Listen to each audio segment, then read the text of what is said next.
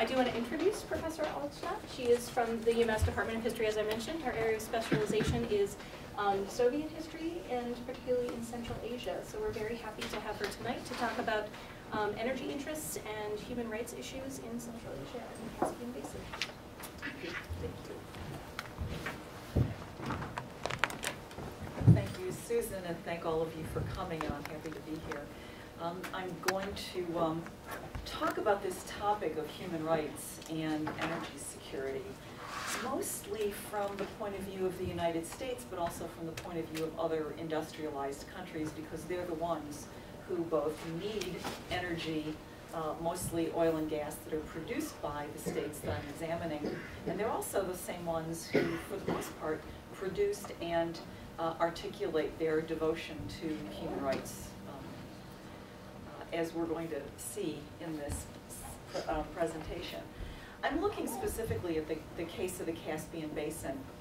Um, I, I, am, as Susan, Suzanne said, an historian, um, but my training is a little bit unconventional. Both my bachelor's and my master's degrees were actually in interdisciplinary areas, uh, and that meant that I did a certain amount of history, but also political science and sociology and some anthropology and economics, and continued that even during doing a PhD in history so that I would understand some of these things. I work in late imperial and Soviet history, but my own research is actually on the Caucasus, on Azerbaijan in particular. And a teaching field for me has been Central Asia for quite a number of years. And since the collapse of the Soviet Union, I had an opportunity then to get back into an, an early interest of mine, which is current politics. Uh, and so I like to connect history and historical precedent and evolution of particular problems to current problems. So I work in both areas and I publish in both areas, and that's sort of the context within which this talk comes. I'm also right now teaching a class uh, on human rights and energy concerns, and so this is something that I'm working on right at the moment.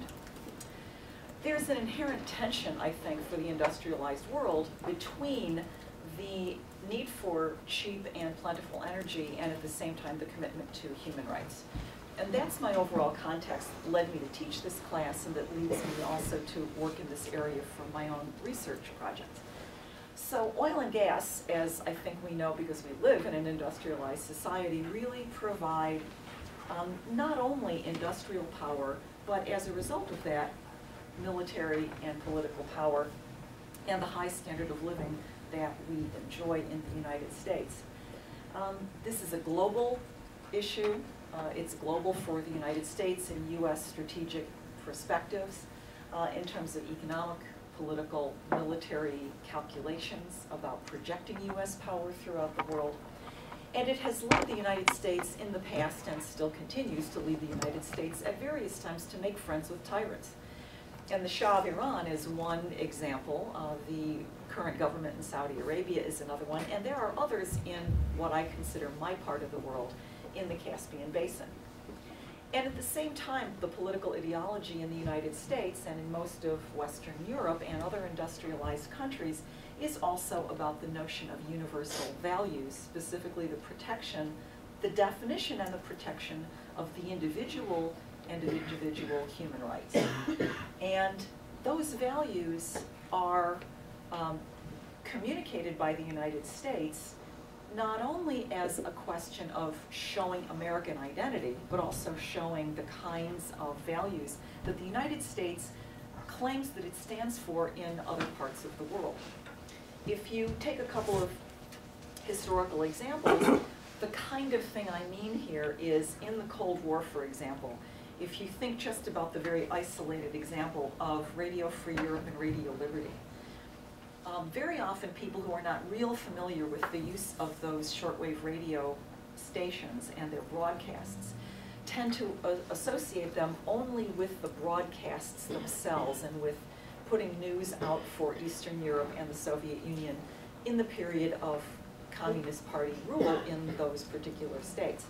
But the radio also had and maintains even now uh, an enormous research arm and in both the research and in the broadcasting, part of the argument, part of the image that the United States has put out about itself is about as the defender of human rights and a particular way of life that ensures individual liberty and democratic society.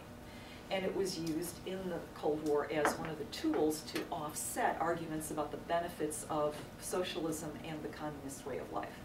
By the same token, now in the war on terror, you can look around the United, uh, around the world and look at U.S. embassies, and you'll discover that almost every embassy, and certainly outside of Europe, but even in Europe as well, have public diplomacy offices. And officers who work in public diplomacy talk all the time uh, to their public audiences in the assigned country about these way of life issues, the U.S. defense of individual liberties and of democratic governments, freedom of speech, assembly, expression, media, etc. So both of these issues are global and they come into conflict on a global scale. And the result of that is that there are all kinds of things that I could potentially be talking about this evening. And as you listen to me and as you think about how you're going to present this in your own varying classrooms, you'll be way ahead of me in terms of recognizing the kinds of ways you can apply some of these issues for various types of students at various levels. The order of the talk that I'm going to give today is going to be first uh, a quick overview with a lot of maps, which I love very much, of oil and gas producing countries, the pipeline system, and a little bit of the politics around those two things. Second, I'm going to look at human rights, definitions of human rights in terms of international documents, international organizations, and a little bit on the watchdog organizations, the oversight groups. And then finally, uh, ending with one, or if I have time, two cases in which there are particular conflicts in these particular areas and what they're really about and how they actually um, shake out, so to speak. My area is the Caspian Basin. I know everyone does not have a mental map of that area, so I've got one coming up. And the countries that surround it, starting from the north and going clockwise, are Russia, Kazakhstan, Turkmenistan, Iran, and Azerbaijan. Except for Iran, the other countries were all republics of the USSR until its collapse at the end of 1991. Um, in terms of the, whole problem of human rights versus uh, energy supplies. I often teach in my classes also transit states that are not themselves producers, but in terms of pipeline transportation come into play. Afghanistan is one of those, and Uzbekistan, which was also a former Soviet republic, is another one of those. This is a blurry map of the Caspian region and much of the rest of, um, of, and the areas that are adjacent to it. So at the top you can see Russia. Um, and then Kazakhstan, which is one of the largest of now independent formerly Soviet republics. Uzbekistan, which does not have a coastline on the Caspian, it's completely landlocked, but I said it sometimes comes into considerations because it's a transit country for energy, uh, and it is one of the most, um, one of the best known uh, and one of the most varied violators of human rights of a whole bunch of different kinds and ranks very low. Uzbekistan? Uzbekistan, yeah, and ranks very low on those, um, for those organizations that actually give numerical rankings to violations of human rights and, and, and democratic norms. Uh, to the south is uh, Turkmenistan, about which not much is available in English uh, because the regime in Turkmenistan has been so effective at controlling access and controlling information, um, and for that matter, controlling access of its own citizens to medical care, libraries, schooling, et cetera, et cetera, that it's very difficult to find good material on Uzbek, on Turkmenistan. Um, if you if you can use Russian or if you um, have students who can use Russian, you have much greater access to information on Turkmenistan, but even still. And of course, if you know Turkmen, but not a lot of people do. Um, Iran was not part of the Soviet Union, uh, Azerbaijan here, which I'll come to, but you can see this neighborhood Uh, next to Iran, of course, is Iraq uh, and Turkey, and if we were to go farther to the west, you'd be on the Mediterranean coast. It's, it's a bit of a distance, but just to give you the location of where that is. And then over here we have the Black Sea, Ukraine, uh, and, and back to Russia again. My next map is a lot clearer because it's only the Caspian Basin itself. And so these are actually the countries mostly that I'll be examining. And in this case, you can see the Azerbaijan's neighbors in the Caucasus of Georgia and Armenia, which also both border Turkey, and Armenia also borders Iran, uh, but Georgia does not. The only country in this region, and for that matter, the only country at all, that borders both Russia and Iran is Azerbaijan. And that leads Azerbaijan to be important for reasons that are not of immediate importance in this topic on energy and human rights, but certainly have, give it a certain um, strategic importance in terms of the area as a whole and U.S. interests, which I will circle back to at the end. Why should the United States care about Azerbaijan? It seems quite isolated. Um, it's pretty far from many other things that the U.S. has interests in. Uh, and, and my particular experience there is not the reason anyone else is interested in it, and, but its location and its oil richness and natural gas is what makes a real difference here.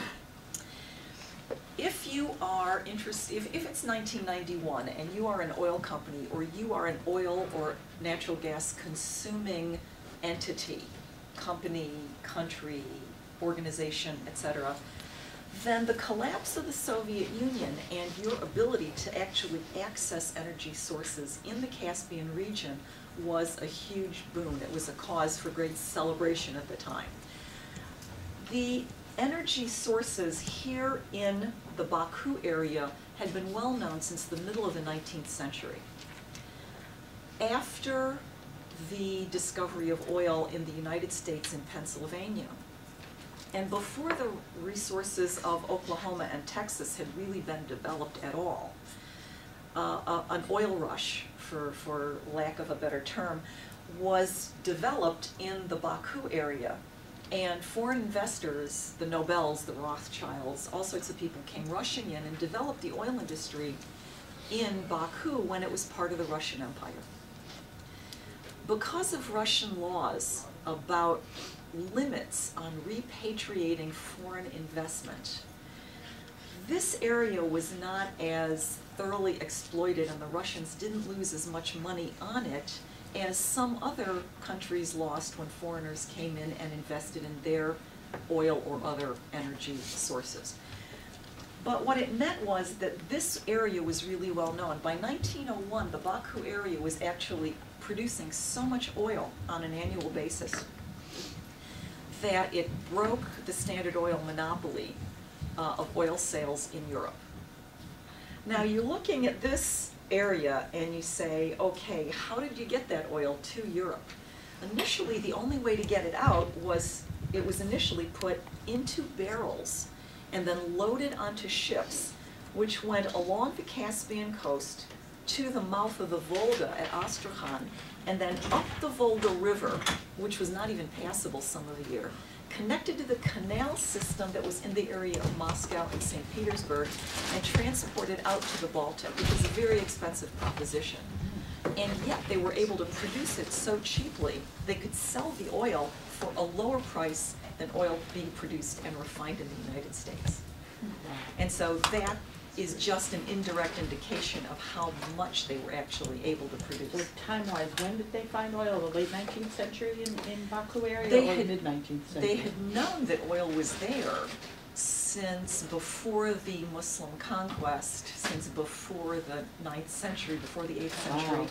There were very early uh, Greek geographers who wrote about the different colors of oil in the Baku area in ancient, or, you know, like what we would consider late antiquity, early medieval time Was periods. just like coming to the surface It bubbled to the surface, and it was being pushed to the surface by all the natural gas underneath.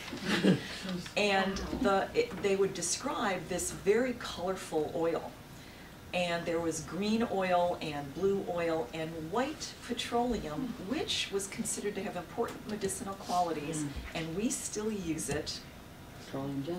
Petroleum jelly. It's Vaseline petroleum jelly. Vaseline's just the trade name. Yes, exactly. So it was really coveted from very early on. And there are descriptions of early travelers who actually were able to um, participate in scooping this early oil out with buckets, loading it into skin, animal skins, and putting it on camelbacks and carrying it in all directions. Um, well, let's see, it's, a- it's almost easier, I guess, to see here.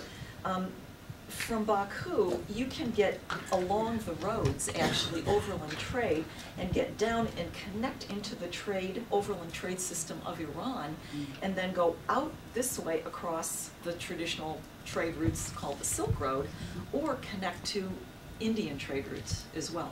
You can also do overland trade out this way across Anatolia and get to Constantinople slash Istanbul, uh, and connect to the Mediterranean and the north-south trade routes there.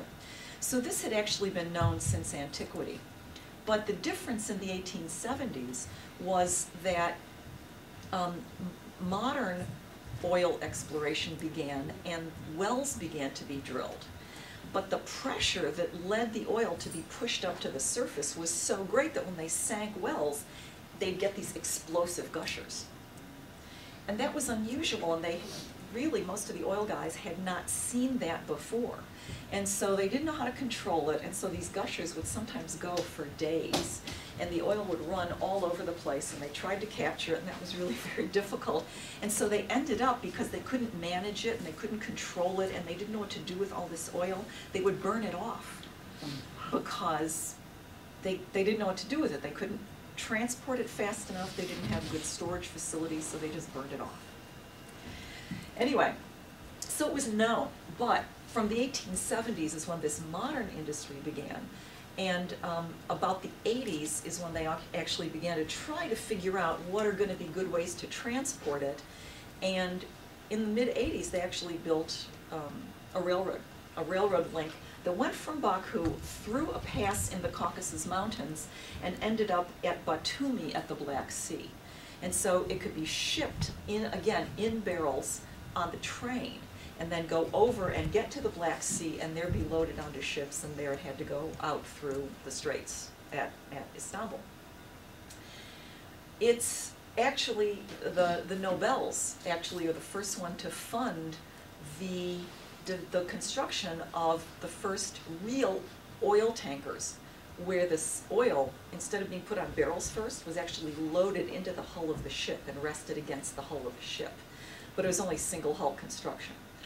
Yeah, so as soon as it hit something, you would have these hmm. oil spills. But the ships weren't that big, so it wasn't as big a catastrophe as the Exxon Valdez or something, you know, on, in, on- that order of magnitude. Hmm. But it took a while for them to get around to double hull construction and then all of the other things in a modern tanker where you can compartmentalize and hmm. turn things off and so on. Oil pipelines actually began to be built also by Europeans, but they went, they just ran parallel to the, um, to the railroad. The real thing was, in this area, the oil was largely exhausted by the time you got even just to the Russian Revolution, to World War One. Uh, production dropped off quite a bit, and the Revolution and World War One, and then the Civil War and Soviet takeover, and all of these things really led to diminished production. In spite of that, this Baku was still one of the points that Hitler was striving to reach in World War II in order to get the necessary oil and gas supplies that he needed for the Wehrmacht. No Wehrmacht can run without having, you know, internal combustion engines, they're not like horses. Uh, you, you need oil, you can't just live off the, the fat of the land, so to speak.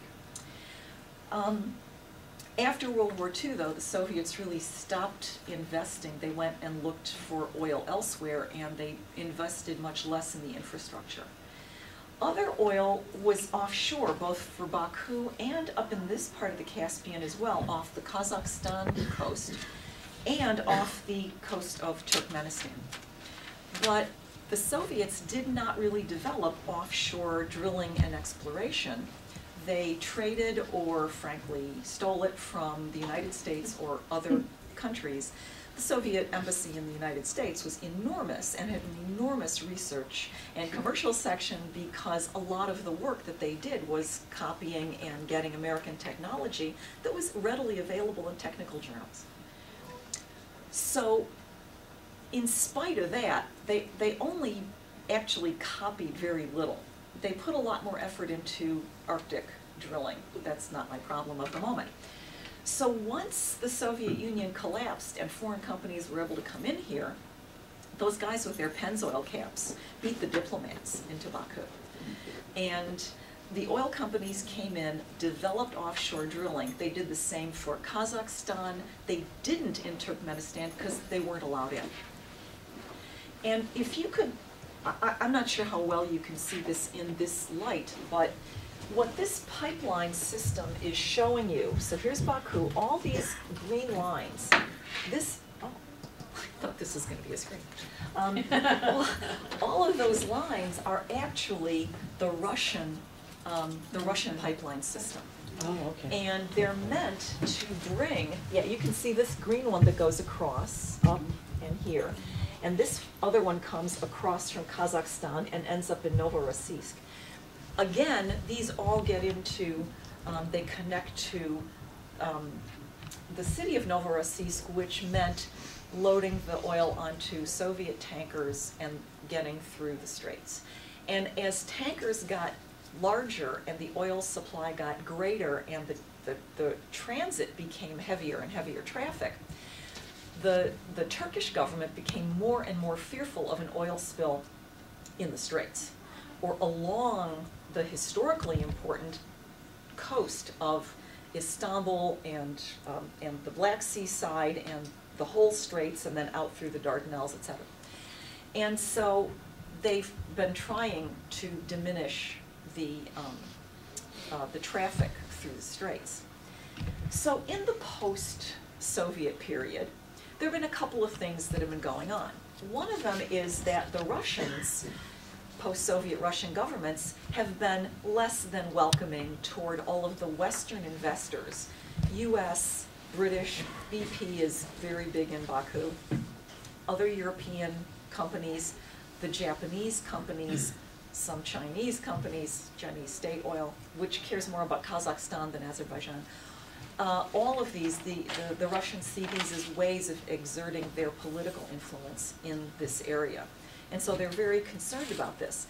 At the same time, the Azerbaijanis and the Kazakhs in particular really want to exercise their independence and not be stuck into the Russian pipeline system and, and deal directly with Western companies. So how do you do that when all of your pipelines run north? There are a couple of possibilities. The possibility that the oil companies liked the best was, the one thing they liked the best was the idea of an oil swap.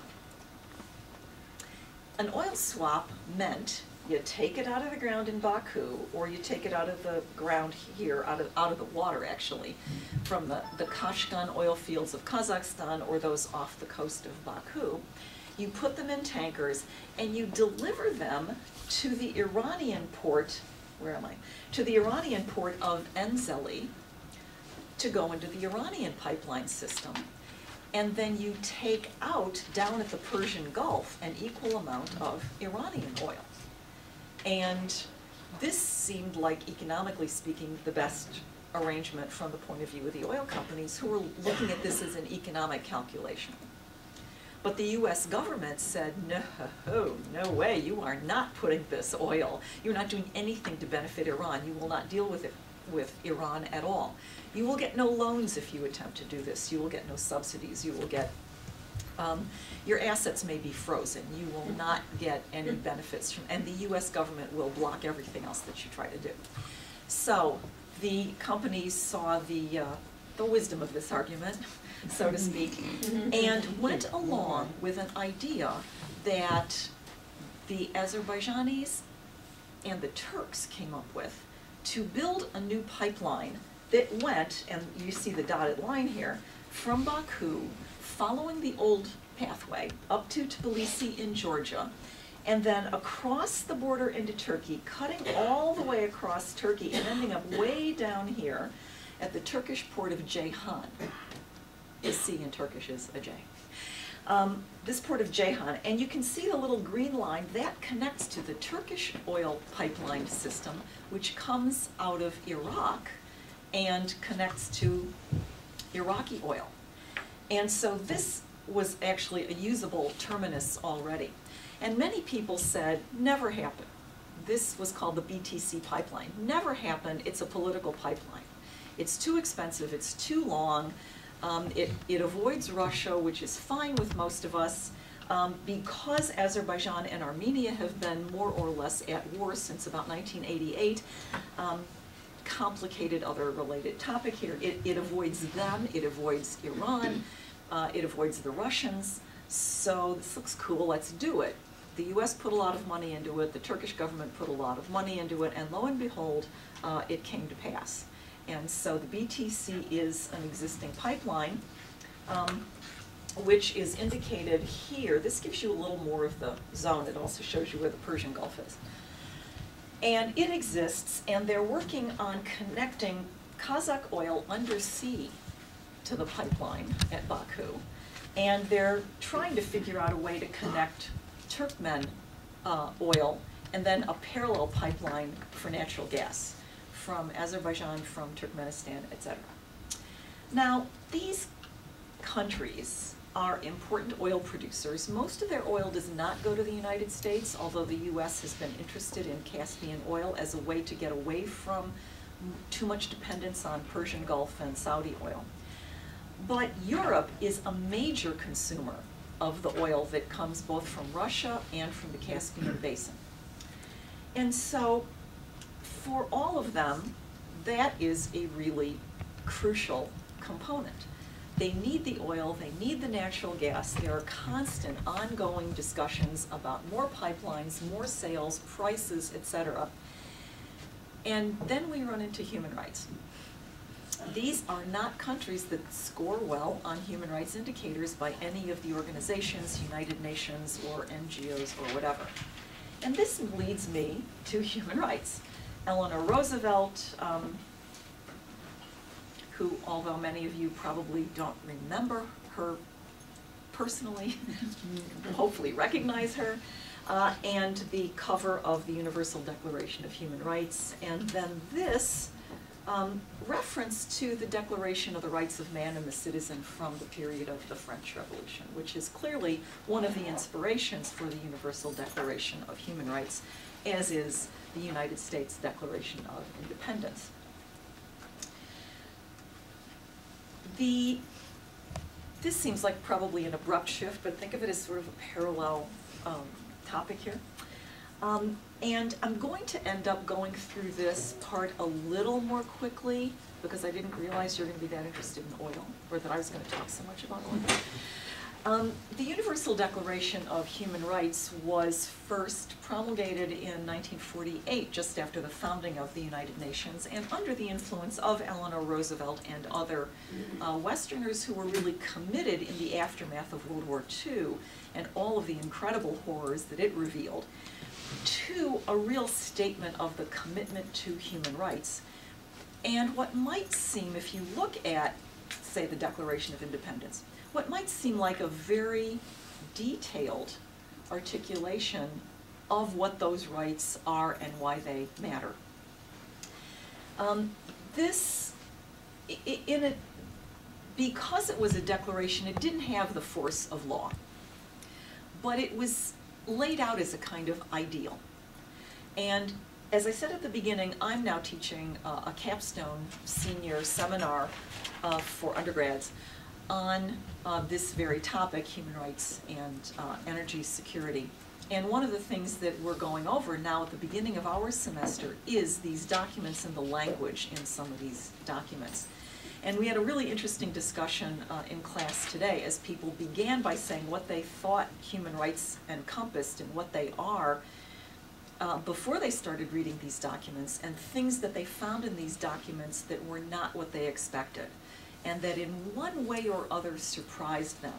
And it was rather interesting to me to see things that they read into the language of the documents and things that they found surprising that were omitted and actually thought were ignored. Whereas they actually weren't when you went back and looked at the documents. So the difference between what people are expecting and um, what they see when they've actually got the document in front of them, to me, seemed like a very interesting, surprising um, component of, of this study. So the Universal Declaration of Human Rights um, was later on coupled with a couple of other documents, this International Covenant on Civil and Political Rights, which reasserts a number of the same basic rights of liberty and property and freedom of assembly and so on. We'll look at those in a second. And also a covenant on economic, social, and cultural rights. And the extension of these rights to individuals and the calling upon governments to guarantee them and to educate their citizens in their meaning. And these together uh, were adopted as international law in 1976. And the force that that has is that individuals can, if they can't get a redress of their grievances domestically within their own country, can petition the United Nations and one of the oversight committees, and there are several committees that are targeted for particular kinds of violations, and they can actually take their case without having any legal representation, just as private citizens can take their complaint to one of these UN committees.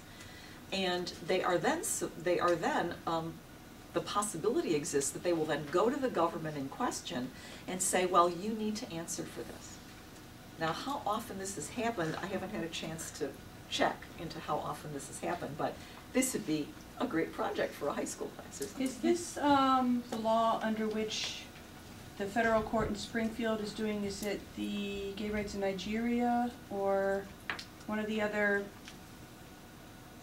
Oh, I don't it know. Uganda? There is a, co- there is a case in the Springfield courts that's an international human rights case brought by, um, representatives for people in one of those two countries, I can't remember which, because one of my kids, we had a global relations course, which is like a current events course, Yeah. came up with this when they were looking at, they were covering some countries in sub-Saharan Africa. And they were floored as to why it was being tried, you know, in fact, it was in Springfield. Yeah. But it was a federal court and it was through the International Human Rights, I believe. Well, that, that is very likely because this certainly gives grounds for that. I'm surprised it's in Springfield even though it's a federal court. Yeah, I was too, but I was Mm. wondering why, yeah. Yeah, okay. I don't, I don't know how the jurisdiction. Because they were saying it was, Would be it was an international, and it was human happen. rights, and, you know, it was just one of the many pieces that they were trying to pull together, but Yeah, yeah, interesting. Yeah. I, I didn't know that existed. I didn't so I was like, oh, neither did they. Maybe there's a, maybe there's a project there. Um, The, I have a couple slides here on the verbiage of the preamble to the Declaration of Human Rights.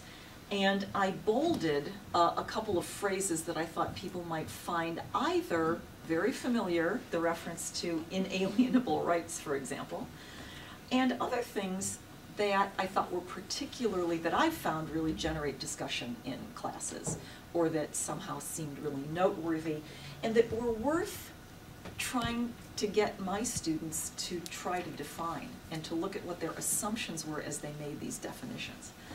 So just to look over those, um, just to look at the highlights, um, inalienable rights, uh, of course, I cheated and put a little Declaration of Independence down there in case people couldn't guess. Um, the foundation of freedom, justice, and peace in the world, that this is one of the first justifications, again, coming right out of World War II. Um, the idea that disregard and contempt for human rights had already created these barbarous acts, and that these outraged the conscience of mankind. And I found that to be very powerful language, that rather than seek a legal basis or a historical basis, this notion of something that was so intrinsically significant to human beings was an outrage to their conscious conscience consciousness was to me seemed like a very interesting way of grounding this kind of an, an argument. Um, freedom of speech and belief and freedom from fear and want has been proclaimed as the highest aspiration of the common people. This struck me more now in 2014, and, or last year even 2013, than it might have if I looked at it 10 years earlier. Because recent opinion polls in post-Soviet countries reflect the preference that a large number of people have for economic security over political freedom. And the assertion that in fact it's these types of freedoms that are the highest goal for the common person might not be upheld if you looked really closely at post-Soviet states that remember unfreedom and that actually live with a lot of political unfreedom now. So I haven't really brought that up in my class yet, but I think we're going to look at a couple countries before I ask them to talk about that. Um, if individuals are not to rebel, then these rights must be protected by the rule of law. And the rule of law then turns out to be a whole separate topic, which I love to stress. And it's really easy to stress the rule of law when you deal with a place like Russia or the Soviet Union, because there isn't rule of law in those systems. And so to be able to talk about that and how that functions is a big opportunity, anyway, for me in teaching, and this plays easily into that. And finally, the idea of the dignity and worth of the individual, the equal rights of men and women, social progress, better standards of living, begins to touch on some of the economic issues, but does not articulate specifically where that is in priority to some of these other things. And so as a result of all of this, we therefore promulgate this declaration and promote respect for rights and freedoms and universal and states are meant to promote not only the recognition, but that these rights should be observed in those states. So this is pretty assertive and pretty bold for 1948. And the questions that I like to bring people back to are things like how universal or why is the Universal Declaration of Human Rights claiming to be universal? Are these actually universally held values? Are their origins really universal? Could we find them in different cultures around the globe? Or is this meant to be an, a universality of application? We're asserting that these things are applicable to all human beings. And it doesn't take, at least my students, uh, it doesn't take them very long. They got, they got immediately to this understanding that this was an assertion of applicability to human rights. And I, as a historian, then wanted to get down to these other questions. So where does this notion of human rights come from? Where does this idea of inalienable right come from? We think right away of the Enlightenment of the 18th century. But it's been my contention, as I've worked off and on over this deeper question over the years, that a society needs to value the individual before it gets to the notion of rights. And I feel like my work on this is just really incomplete, and I would love to have a team of students at some level or other, preferably with facility in a couple of different languages, one of which would need to be French, two and Latin maybe and a couple of others, to really go back into earlier and earlier history and to do this globally in a comparative way. Where else do we see in terms of global philosophical thinking? Where do we see value of human beings individually as opposed to the importance of the collective, of the community?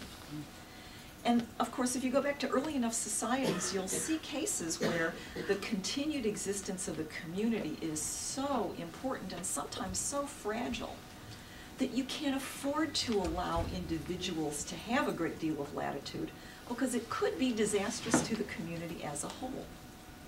And so this, this philosophical problem of the benefit of the one versus the benefit of the many is one that gets reincarnated in all kinds of different ways. Why do we not allow smoking anymore indoors for the, because the collective benefit of the, the, the multitudes to be free from secondhand smoke has been deemed to outweigh the right of the individual to smoke. Trivial example, unless you're a smoker, I suppose, but it's a tension that we see going back and forth in these kinds of issues, but also in other kinds of issues. Public opinion poll nineteen ninety-seven, um, I believe this was a poll taken in the United States. Although it was from a Americans in the Globe website, but I couldn't quite, I was unable to find as, as I looked through what I was unable to find where this poll was actually taken. Do you believe that every person has basic rights, et cetera, et cetera, or do they come from the government? Now, you'll notice here seventy-six percent of the people who responded said, oh, no, these are basic rights, they're intrinsic, to- they're inalienable, they're by virtue of our being human beings, there, doesn't have to do with the government, et cetera. I do not find that comforting, frankly, that only seventy-six percent of Americans said this, because seventeen percent said rights are given by the government. Once upon a time, back in the nineteen eighties, when I was in the Soviet Union, I had a research assistant, and we were talking about vocabulary things and words for this and words for that. And somewhere along the line in the course of this, he said, oh, oh yes, a constitution. That's where you know what rights the government gives you. And I thought, whoa, whoa, yeah, okay, do I, do I pick this fight? Or do I just wait till there's another fight that's worth really picking? And seven percent don't know? Oh my gosh. So this, this is a real reality check, I think, for we who may be inclined to assume that everybody's on board with this. Um, stemming from these documents, stemming from this pretty widely held and, and, you know, seventy-six percent well-known belief in, in the inalienability of human rights, uh, you've got these various organizations. The UN uh, has a couple, has quite a few, uh, and then uh, Human Rights Watch, Amnesty International, fairly popular, well-known, I think, logo, the, the barbed wire around the candle. And the UN, uh, UN groups, there are several, many, and there are a couple of different types. Uh, the UN High Commission for Human Rights is one of the overarching standing bodies. The Human Rights Council is called a charter-based. In other words, it's rooted in the UN Charter. The Human Rights Committee and the Committee Against Torture are treaty-based. In other words, they have to do with particular treaties that are targeted for those issues. And they are not standing bodies. They meet a couple of times a year, three-ish for the most part, times a year, fairly long meetings to review um, how countries that are signatories to this particular treaty are doing in terms of observing human rights. And um, this one, the Human Rights Committee, I thought I need to try to get on that. They meet once a year in New York, but twice a year in Geneva. And that could be, I think, a real contribution to the advancement of human rights, to do those meetings in Geneva. And so the, this, and, and these are actually specialists, not human right, not uh, UN staff. And they judge on the basis of reports and so on. So, and then they make reports, which if you look at any of these websites, you'll find uh, at least the most recent reports, and in some cases, many reports going back lots of years. The independent NGOs, the non-governmental organizations, Amnesty International was one of the earliest ones to be founded, and initially its focus was on terror, uh, I'm sorry, on torture, and the elimination of torture. And then subsequently, it expanded its purview in order to, um, to look at larger complexes of human rights violations. Um, again, using as sort of its jumping off point, the Universal Declaration of Human Rights. Human Rights Watch is, um, was started out as the Helsinki Watch. you may remember, I'm looking around, yeah, because I remember, so some of you may remember, uh, when the Helsinki Accords were signed in the early seventies, and the Helsinki Commission and the Helsinki Watch Groups um, came out of this, uh, individual countries, when they became signatories to the Helsinki Accords, pledging human rights and, and uh, a certain level of democratization in their countries. These groups began, began trying to oversee uh, the compliance of their own governments. And there were plenty of these in the Soviet Union, and most of the people who belonged to them ended up in jail sometime or other. But their public stance, their public protests, got enough media attention that it really did bring a lot of embarrassing publicity to the Soviet Union and does seem to have made a difference in some cases uh, of, of, you know, particular um, cases. So out of that came Human Rights Watch, which looks at lots of countries, lots of different types of human rights violations. And the Organization for Security and Cooperation in Europe, the OSCE, um, also came out of the Helsinki Accords. Freedom House, um, I, I had to throw in Freedom House. They look only partly at human rights, they look much more at political democratization. But I had to throw it in because I serve on their review board, and um, we do the same thing. We have, you know, people write reports, um, the review board gets together once a year in a windowless room in New York City, so it's really not any fun, which is coming up um, in a couple of weeks.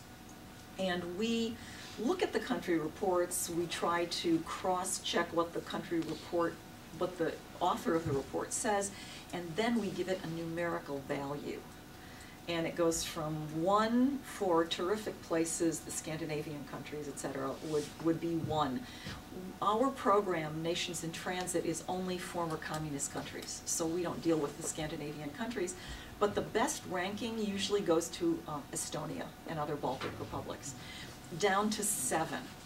And seven, there's a certain comfort, all my countries are down in the sixes, fives and sixes. There's a certain comfort knowing Turkmenistan will always be at the bottom uh, except a couple of years ago, Uzbekistan joined it at the bottom. Uh, but other countries, Azerbaijan is moving closer and closer, Russia's getting to be worse and worse, and I fully anticipate that they will both be downgraded when we have our next meeting in February. The, the results won't be out until June. Uh, and they also don't care. The Hungarians, the Czechs, the Poles, if you downgrade them a quarter point, they'll be on the phone to the Budapest office of Freedom House. Azerbaijan, like, oh, just pump some more oil, deliver the caviar, we'll have another reception, we don't care what you people think. And they don't, they really don't. It's a lovely country, terrible government. On the, um, Human Rights Committee, the treaty-based UN committees, are they treaty-based that you're a signatory to that treaty and you have to follow, kinda like the, some of the other treaties In theory, in theory? in theory, But you're they- supposed to not be torturing people. So, b- in theory, they're supposed to be, they've signed all the treaty, all the UN members have signed these treaties. Whether or not they do it is a whole nother issue, that's Yeah. true, but, yeah, Yeah, that's the idea. You, you know, you already agreed, you bought in, bam. Whether they follow the treaty, it's probably sticking in a box under the bed somewhere. Well, I mean, I do have to, in, in this context, I have to point out, Amnesty International writes scathing criticisms of the United States every year because we still maintain capital punishment. Mm-hmm. And that's considered inhumane Mhm. within this framework. And so it's not like there's not finger pointing and plenty of blame to go around and not like we're not at the receiving end of some of it. Um, So, and the case that I was going to talk about, um, the first case I was going to talk about was, and this totally played into my course planning, like I thought of this. Um, the Olympics in Sochi. Uh, this is just such a super example, and I just wanted to put in here Article 19 of the full body of the Universal Declaration of Human Rights. Everyone has the right to freedom of opinion and expression. This right includes freedom to hold opinions um, without interference and to seek, receive, and impart information and ideas through any media and regardless of frontiers. And here's a guy demonstrating for gay rights, not the rainbow Olympic rings, being hustled off by Russian security personnel uh, because in reality, this is not being allowed Uh, and the, the, the Russians did, as a result of IOC complaints, International Olympic Committee complaints, did create a zone for demonstrations and complaints. And it is conveniently located fifteen kilometers away from the Olympic Village. So if you wanna hike out eight miles, seven and a half, eight miles, you can protest anything you want at these Olympics. Plus, didn't Putin make a statement the other day saying something about you can do whatever you want in your private life, just don't touch our children, I I guess he thinks all gays are pedophiles. And that, those are linked, those are almost always linked in Putin's Oh, statements. And so that's, their, this is their defending, you know, the purity of their children. It reminds me, no, it doesn't really, yes. Um, Originally, it was human rights and energy security. Would you, uh, and you seem to have migrated somewhere else, I did. would you talk about uh, the security arrangements for the Super Bowl? Do you know them? You cannot park around the stadium, you're gonna be bussed in, a major transport, you're gonna go through TSA security regulations. So what's the difference? When we have a political rally, there are buffer zones. Mhm. And the police don't give a damn. They'll rip signs away from, you. so I personally don't see a difference. And I wish you'd get back to the energy security, why the US will support uh, dictators and things like that. So Yeah. Um, well, this is my list of the various things that are going on with respect to the Olympic situation. And the responses, because since Russia is an energy producing state and because, as I said, back on the map period, Europe is a major consumer of Russian energy. When you look at the US, but more germane in this instance, the EU responses to, and, and IOC responses to this particular, not just the one thing, but the series of things in Russia, which are identified as human rights violations, that they have not been responsive to supporting these reports of the abuses. And the Europeans, in fact, have said they would refuse to attend. But it's the Europeans who are so dependent on Russian energy that have been particularly unwilling, it appears, to protest against not only the human rights violations here for the Olympics, but also in terms of Russia's own policies. So if we just back up for, oops, back up for a second, um, things like uh, this, this village of Akhshtyr is in the mountains between the Olympic Village and the, um, the ski area. And in order to build the Olympic Village, uh, it was, roads were built that cut it off from major roads. And it has been without access to major roads for three years. And its water supply has been also reduced and at times cut off, so water is trucked in. Um, Migrant workers were used over the past several years to build the Olympic Village. They're migrants um, from former Soviet republics. And the Russians took their passports so they couldn't go anywhere and then housed them in barracks so that they would build the Olympic Village. And they were working 12 and more hours per day in order to do that. This particular complaint, Human Rights Watch had gone to the uh, IOC with it, and they have accepted the Russian repeating, the Russian excuse to say, we're working on it, we're going to fix it, we have fixed it, they go back, it's not actually fixed. But neither the IOC nor the EU has pressed anything around those particular, um, that particular case. Um,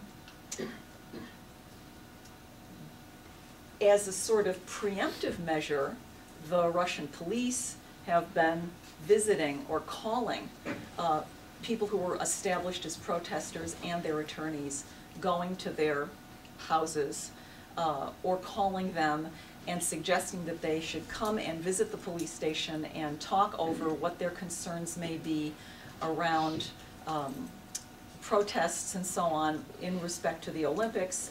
And these people have all, the reports that I've said has said that they have all said, well, do you have an order? Do you have a warrant? Do you have something to compel me to come down to the police station?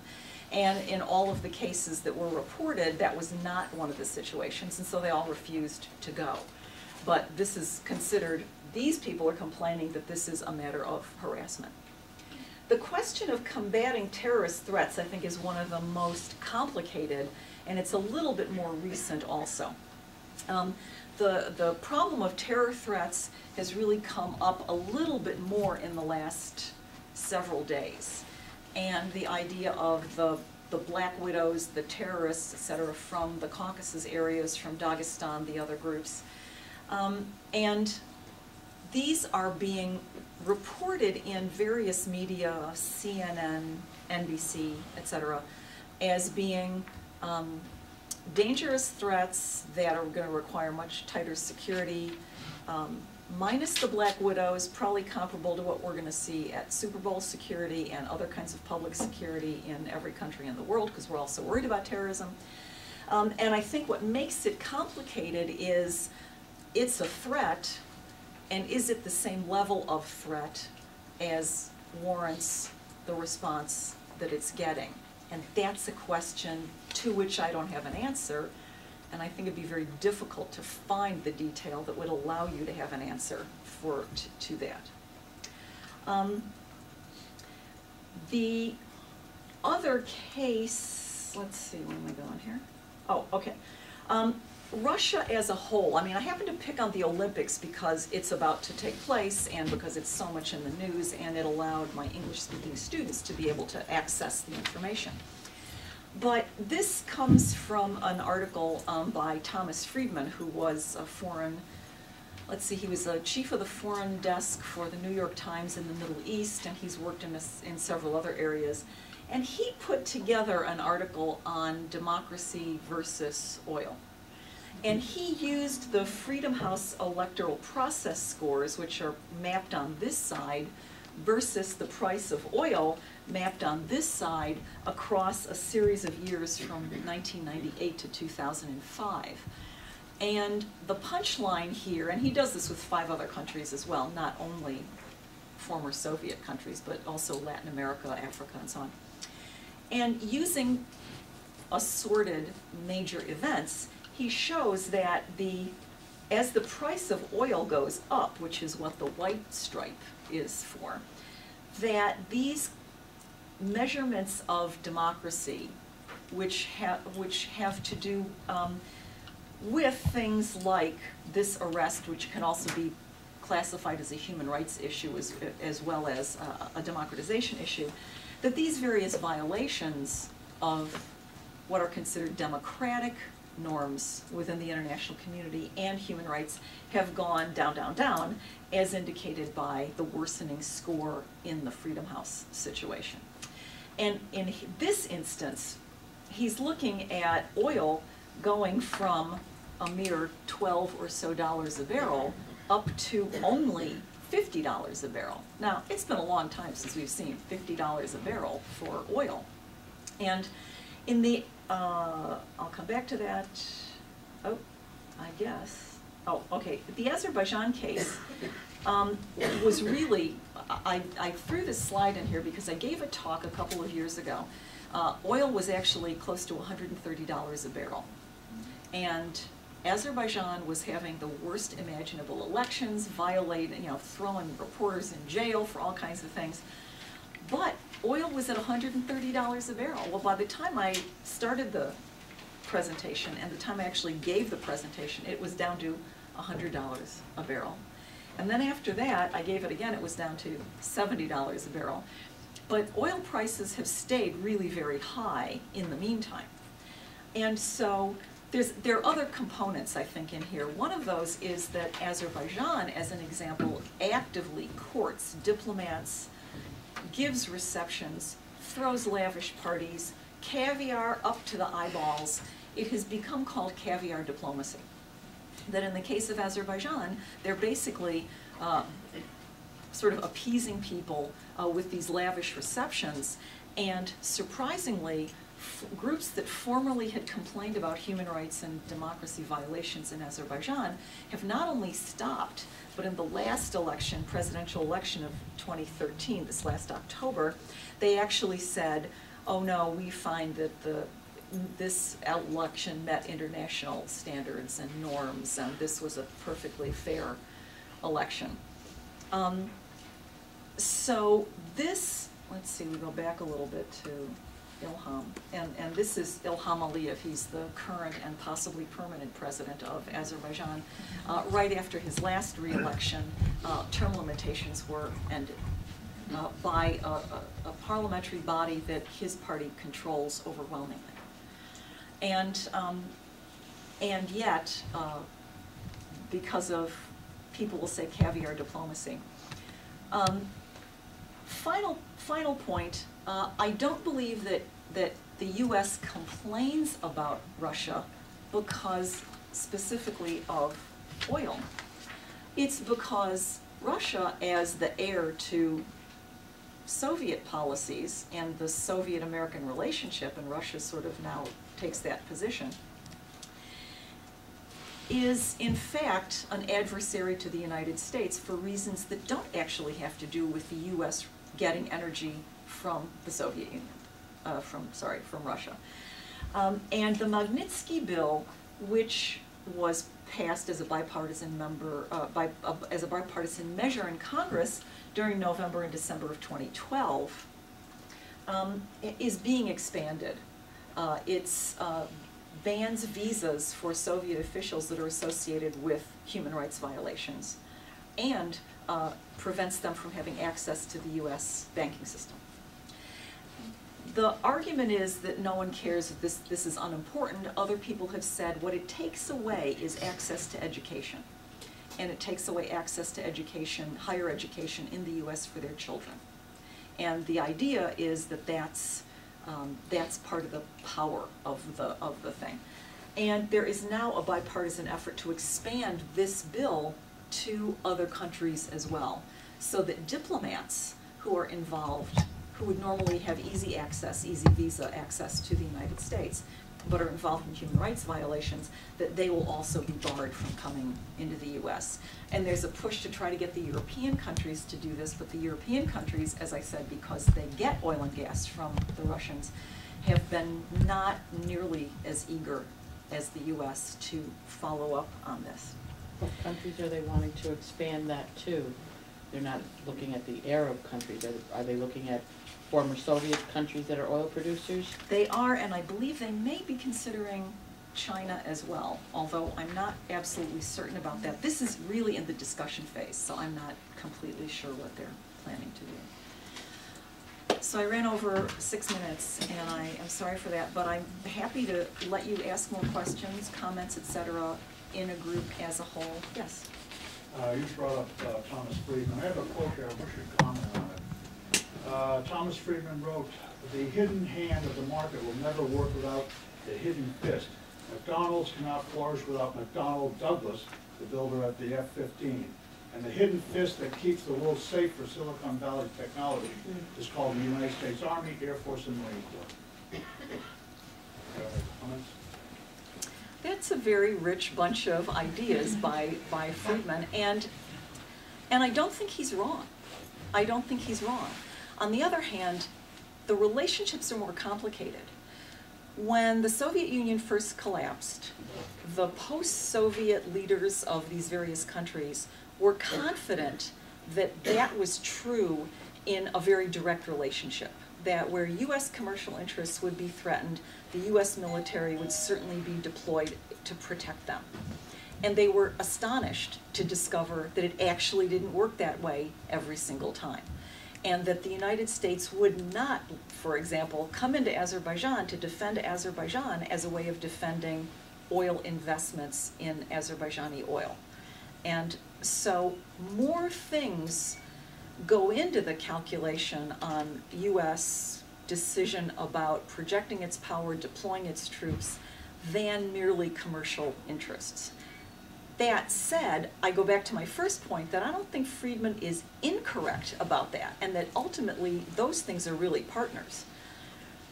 But the way it plays out in given situations also takes other things into account. And so it's true but not simple. Um, Yes. sure. Have there been examples where human rights have trumped um, corporate interests? I don't I don't know, whether in the Caspian Basin or in general?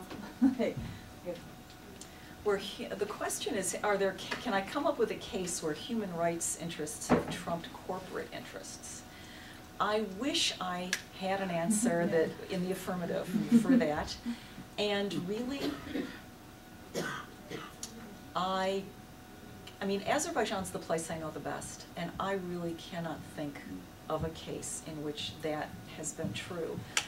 I, on the upside, I can certainly think of a case, okay, maybe I shouldn't say this, I'm saying it anyway.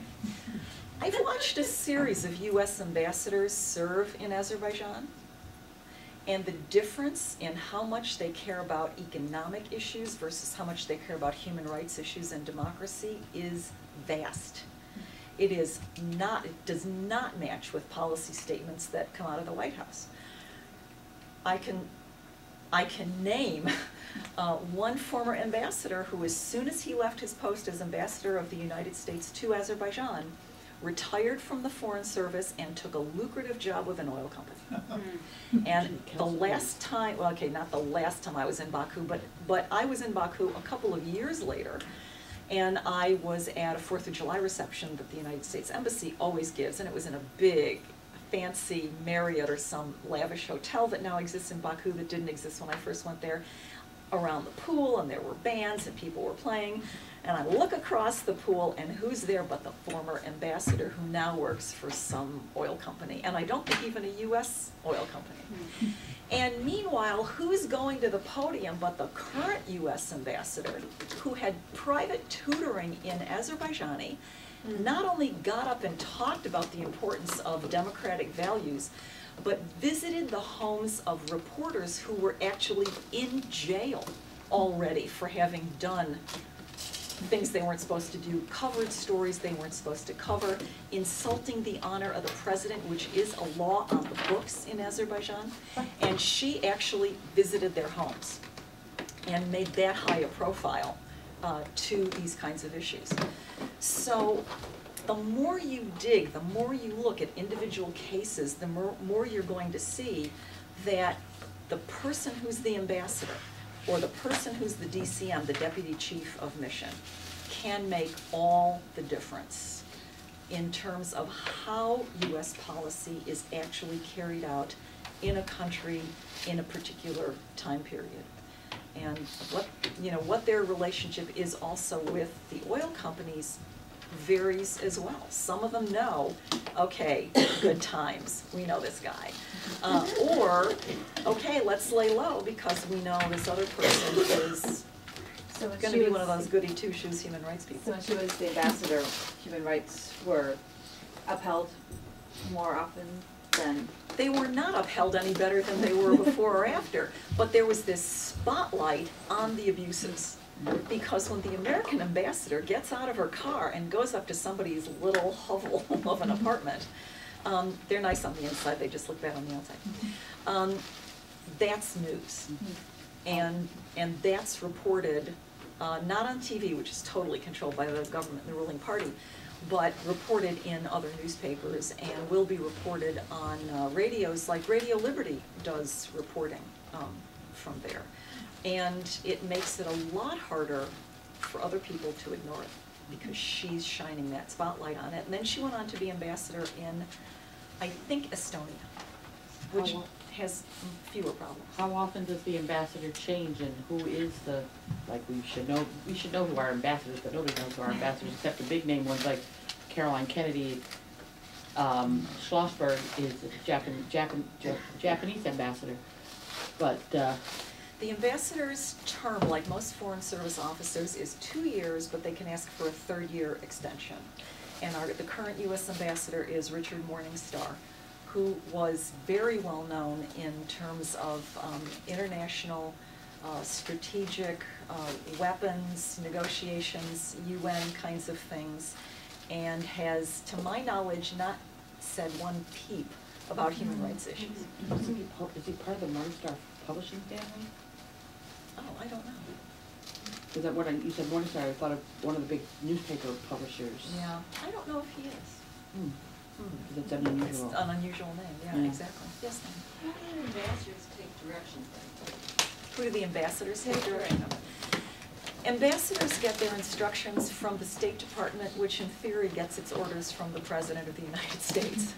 And it is very That said, however, um, the, um, the Secretary of State is really the moderator, so the Secretary of State will deal with all kinds of normal, routine kinds of things and what's gonna happen here and there, and, and she, or now he, is, you know, the, the person who oversees all these things. But if there's something serious, if there's a collision, conflict of interests, emergency, whatever, then, yeah, it's gonna be the president. But the president, the secretary of state, most of the people in the diplomatic area, in the intelligence community, are functioning on the basis of mountains of reports that filter up to them through all kinds of conduits, many of which are very narrow at any given time. And so until they ask about a problem, they may not get information about a problem, and by then it may already be a well-developed problem. And so an ambassador has at her or his disposal the whole staff of the embassy, which is supposed to be monitoring what happens locally. And most of those people also change every two or three years. But any hmm. diplomat will tell you, someone who doesn't change every two or three years, who's really there for a prolonged period of time, may not in fact work for the State Department. Yes, sir. Um, When I was in graduate school in public policy, um, one of the things that, that I heard was that um, US foreign policy is largely determined by, maybe it's a few hundred people, maybe it's a, a small number of thousands of people, um, people at places like the Brookings Institution and um, presumably the Heritage Foundation and so forth. What extent is that true? And I'm assuming that those people don't necessarily include the people at Shell Oil or, or um, Exxon, um, although there's clearly, you know, money going into those think tanks from those places and there's influence. But the US foreign policy is largely set by a very small number of people. Um, Who are those people? Yeah, who are those people anyway? They're all mysterious people. There's, there's cross-fertilization between the government, the think tanks, and private corporations. It's much more common between the government and the think tanks.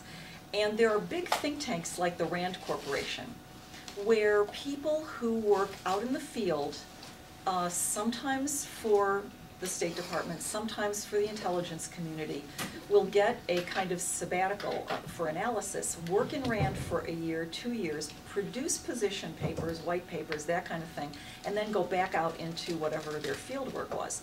And they tend to be listened to and they tend to have a lot of influence. There are also certain people in other kinds of think tanks that for one reason or other, and there might be a dozen different reasons why, you know, you get listened to and I don't get listened to.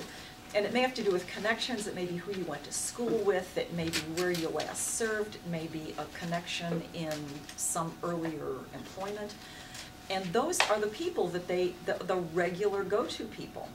And they talk about them as if they know everything, but if you really look at what they're writing, sometimes they do and sometimes they really don't.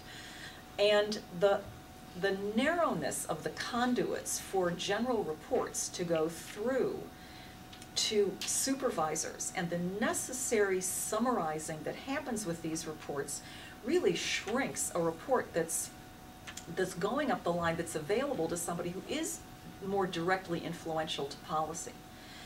But the number of people who really have an, a, a- an opportunity to influence real policymaking is really tiny because it's a tiny circle and access to it is really tightly controlled. And there were a couple of issues right at the beginning of the post-Soviet era that I tried really, really hard, and a couple of other people tried really, really hard to make a dent in thinking at the policy level on a couple of issues. When the Soviet Union collapsed, they knew everything that was going on in the Kremlin. They knew the breakfast menu in the Kremlin. But they could not find Azerbaijan, Turkmenistan, et cetera, on a map. They had no idea where these places were. So those of us in the academic community who were specialists in these areas, who had lived there, who knew the languages, et cetera, we got called regularly to come and participate in different kinds of conferences, roundtables, brainstorming sessions, et cetera. And you could see there that the sub-policy level of analysts were smart, they were alert to all these different things, they thought critically, they took nothing for granted, and then you looked a couple steps up at the policy, and the same garbage came out month after month, year after year, to try to penetrate that wall was just awful. I mean, awful.